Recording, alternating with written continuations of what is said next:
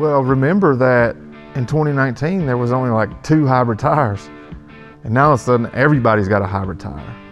So everybody's either in development on one or is releasing one. Like think of all the ones like the Mickey Thompsons we did, the Dick Cepeks we did, the Coopers we did. You know, back in you know back in 19 there was basically Ridge Grappler was brand new, and you had the Duratrac from Goodyear, which was really not designed to be a hybrid tire, but ended up being one of the flagship tires of that category. One of the better tires that Goodyear makes is the Duratrac. And so, like, you know, Nitto and Toyo, and there was the Toyo Open Country RT, the, you know, those were kind of the pioneers because, you know, Nitto and Toyo really started to explore the different, were there categories in between the regular category of HT, AT, and MT? And then, you know, what's an MT? And also like what conditions and what different MTs can be used for different terrain. You can't just have one MT, right, or one AT, because you have all kinds of different terrains. Like some people are in the sand or in desert, some people are in the mud, some people are on the rocks, like in Moab.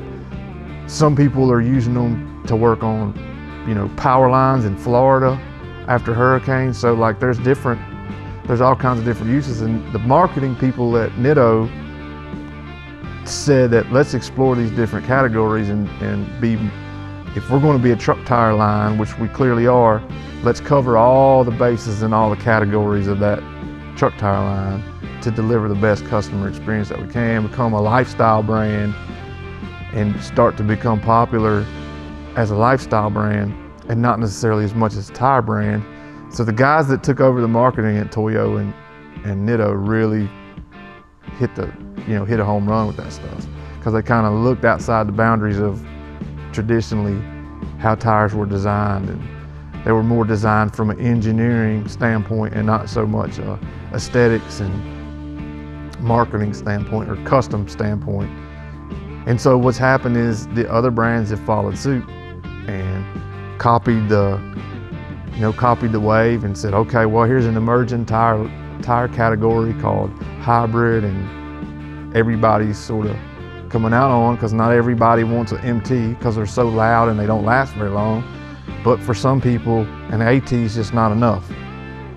Just not enough. And so just a different category. And I, you know, that's a lot of it. And so you see a wave of new, from every manufacturer, you'll see a wave of new uh, hybrid tires coming.